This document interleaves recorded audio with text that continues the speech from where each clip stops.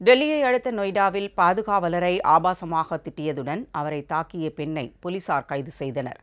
நொய்டாவில் தனது குடியிருப்பிற்கு காரில் வந்த பெண் ஒருவர் நுழைவாயில் கதவுகளை திறப்பதில் தாமதம் ஏற்பட்டதை அடுத்து அங்கிருந்த காவலருடன் தகராறில் ஈடுபட்டார். வாக்குவாதம் வலுத்து பாதுகாவலரை ஆபாசமாக திட்டியும் தள்ளிவிட்டும் தாக்கிய அப்பெண்ணின் அடாவடி செயல் அங்கிருந்த சிசிடிவி கேமராவில் பதிவானது.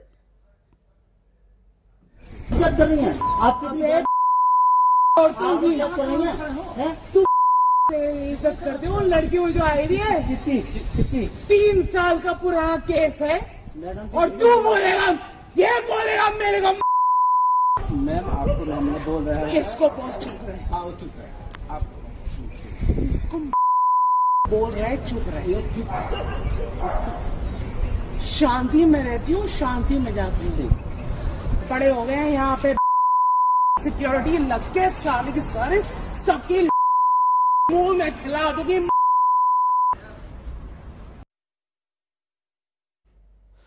பாதுகாவலரை தாக்கிய பெண்ணை கைது செய்த போலீசார் நீதிமன்றத்தில் அவரை ஆஜர்படுத்தினர் அப்பெண் பதினான்கு நாள் நீதிமன்ற காவலில் சிறையில் அடைக்கப்பட்டார்